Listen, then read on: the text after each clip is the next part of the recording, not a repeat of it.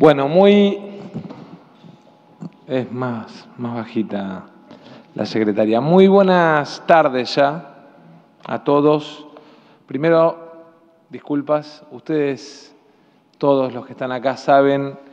que estos son aquellos días en los que todos sienten que el mundo termina el 31 de diciembre y en realidad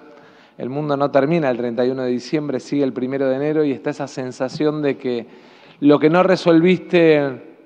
el 31 de diciembre pareciera que no se puede resolver y entonces la obligación, la demanda, el pedido y sobre todo la responsabilidad del Ministerio en todas las áreas nos obliga a tratar de atender a todos. Así que vaya mi disculpa y mi agradecimiento. Quisiera arrancar diciéndoles que tal vez quienes estamos acá no tomemos conciencia de qué significa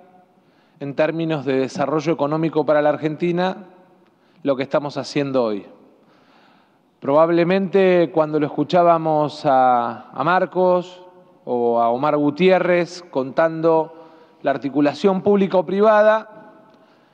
lo que estábamos es continuando, y Darío te agradezco que estés porque de alguna manera muestra continuidad, continuando la idea de que cuando trabajadores, empresarios y Estado construyen en una misma dirección y con un mismo objetivo,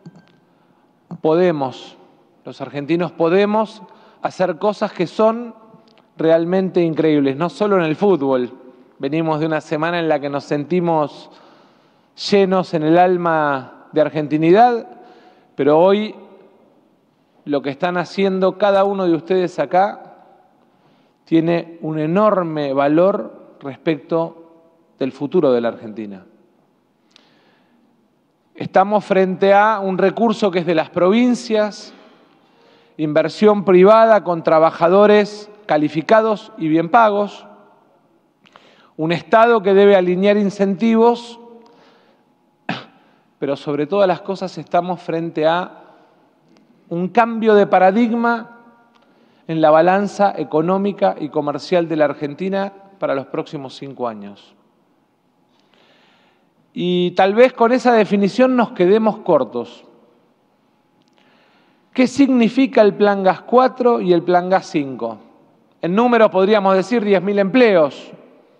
Es un número al que nos podemos animar tranquilamente y si miramos la cadena de valor por el tamaño de las inversiones y por el impacto sobre todas las cosas en el desarrollo económico del gas y del oil, podríamos animarnos a más. Podríamos plantear un ahorro de subsidios para el Estado argentino de 19.500 millones de dólares para los próximos cinco años.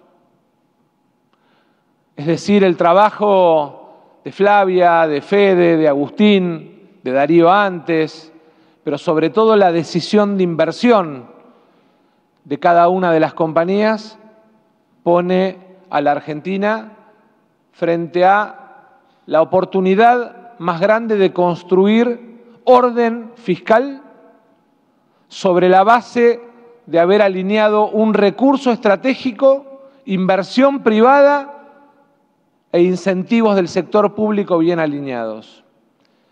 Y eso, mirando la perspectiva y el futuro de la Argentina, es central. Podríamos tomar otro número y decir, como decía Flavia, nos vamos a ahorrar 27 mil millones de dólares de divisas y en esa idea de construir fortaleza en nuestra moneda, de tratar de que la acumulación de reservas sea un pilar de fortaleza de nuestra moneda, la contribución que las provincias, no solamente Neuquén con Vaca Muerta como actor central, sino la cuenca austral, Chubut, Santa Cruz, el Golfo, la cuenca del Golfo y la cuenca austral, y también la cuenca del norte porque aspiramos a que en abril tengamos un aporte de las provincias del norte, de alguna manera nos permite mostrar que recurso en nuestro subsuelo de las provincias, trabajo coordinado con la nación, puede contribuir a la acumulación de reservas. Podríamos hablar de fortaleza fiscal, porque solo el año que viene vamos a recaudar 600 millones de dólares más de impuestos. Los miro con la tranquilidad de saber que este contrato mutuo que hacemos fortalece a las empresas porque les permite contractualizar a largo plazo y fortalece las cuentas públicas. 3.500 millones de dólares de mayor recaudación fiscal para los próximos cinco años. Podríamos hablar del incremento de las inversiones y decir que con orgullo estas compañías, el trabajo de Pablo, Marcos, Marcelo, Hugo, Javier, bueno, cada uno de los que está acá nos genera más de 7 mil millones de dólares de inversión nueva para la Argentina. Tan importante para construir valor, tan importante para fortalecer nuestra economía. Después podríamos empezar con los detalles más finitos respecto de la competitividad de la oferta contra lo que traíamos, cuánto más ofrecieron, cuánto más van a producir. El orgullo de saber que el 20 de junio Agustín va a terminar el gasoducto y que a partir de ahí ya tenemos el compromiso de llenado de ese gasoducto por parte de todas las compañías.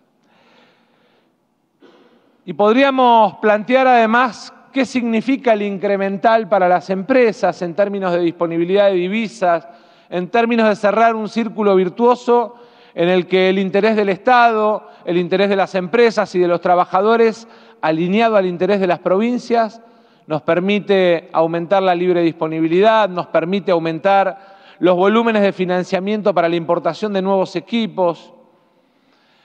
Pero todo esto en realidad es la radiografía de algo mucho más importante. Porque el cambio más importante que produce este programa es el cambio en la matriz de Producto Bruto Interno de la Argentina. En el 2026, si seguimos adelante con este programa,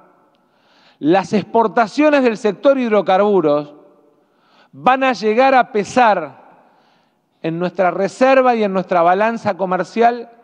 lo mismo que pesa todo el complejo soja, para que tengamos dimensión de la importancia de lo que hoy se está poniendo en marcha. Nos faltan infraestructuras, por supuesto, y tenemos que transformarlas en política de Estado. Ahí vimos cómo a partir de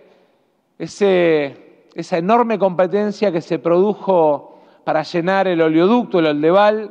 apareció un segundo oleoducto en Vaca Muerta al sur, llevado adelante por IPF,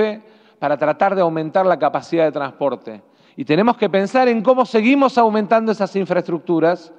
y en cómo las transformamos en instrumento además de la Argentina acceso al financiamiento y al mercado. Yo quiero agradecer, agradecerle a las provincias porque trabajaron Omar, Mariano, obviamente Santa Cruz, Tierra del Fuego, trabajaron codo a codo con el equipo de la Secretaría de Energía, a Flavia, a Federico, a Agustín, a todos los que trabajaron en buscar que la competencia sea el instrumento que nos permita bajar precio, aumentar inversión, aumentar empleo y establecer reglas y contratos de largo plazo entre el Estado argentino, las empresas y sus cadenas de valor.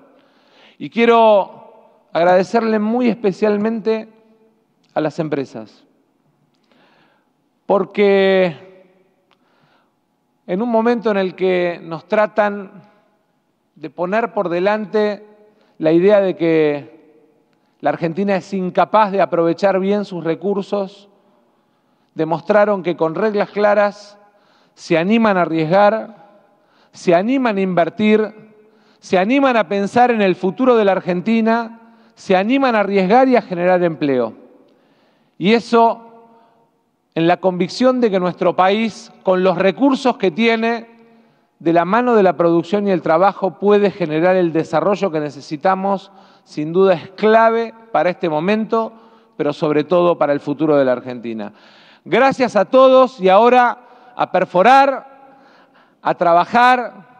y sobre todas las cosas a mostrar que esas moléculas que guardamos en nuestro subsuelo pueden ser parte de la fortaleza del futuro de la Argentina. Muchas gracias.